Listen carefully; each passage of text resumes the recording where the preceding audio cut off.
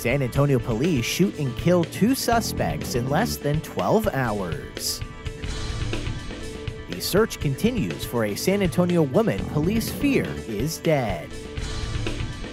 And early voting is underway for a runoff election for Texas House District 125.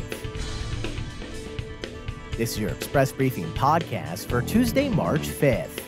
Subscribe to this and other free content at expressnews.com slash podcasts. And get each day's top news and sports headlines delivered to your inbox at expressnews.com slash newsletters.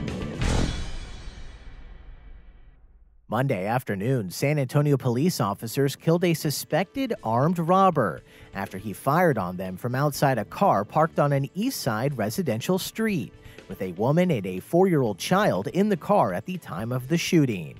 And less than 12 hours earlier, in a separate incident, officers killed a 27 year old man who shot at an officer after his parents sought help from the police.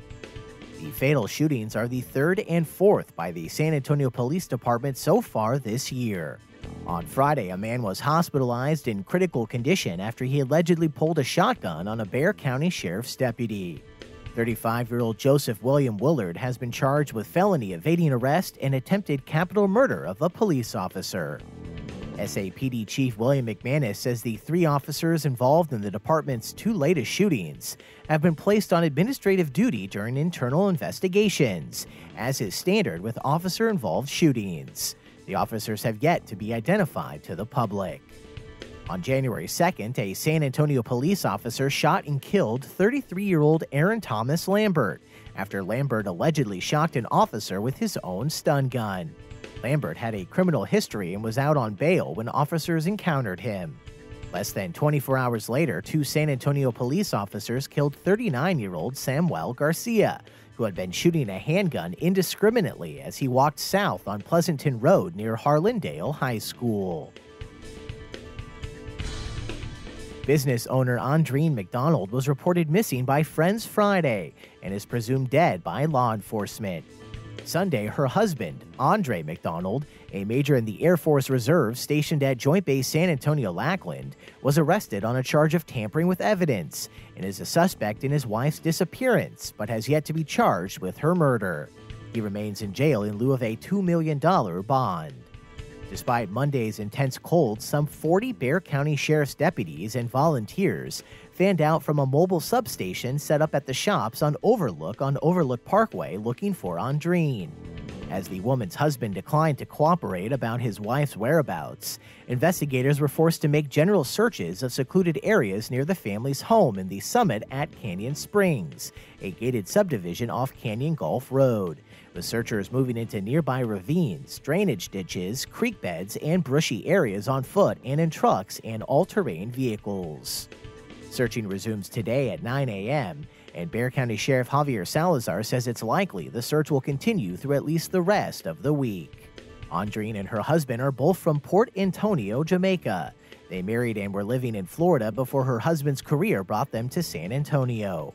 Records indicate Andre McDonald divorced his first wife in 2005 in Florida.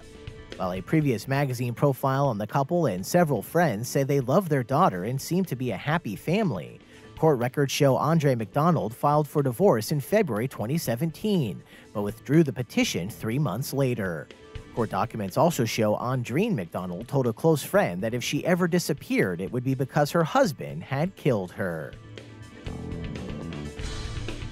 And Monday, early voting began in the runoff to decide San Antonio's next representative in the Texas House, with Republican Fred Rangel and Democrat Ray Lopez vying to represent District 125, which covers a swath of the west and northwest sides. Former state representative Justin Rodriguez vacated his seat in the Texas House when he accepted an appointment in January to replace the late Paul Elizondo on the Bexar County Commissioner's Court. A special election was held February 12th to fill the seat, but none of the five candidates received 50% of the vote, triggering the runoff. Rangel was the lone Republican in the race and used consolidated GOP support for a strong first place finish with nearly 38% of the vote. Lopez ran against three fellow Democrats, earning nearly 19.5% to advance to the runoff. Polls are open today and Wednesday from 8 a.m. to 6 p.m and from 8 a.m. to 8 p.m. Thursday and Friday.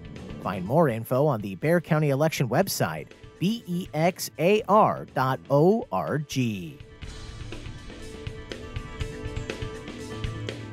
And that's your daily San Antonio Express briefing for Tuesday, March 5th.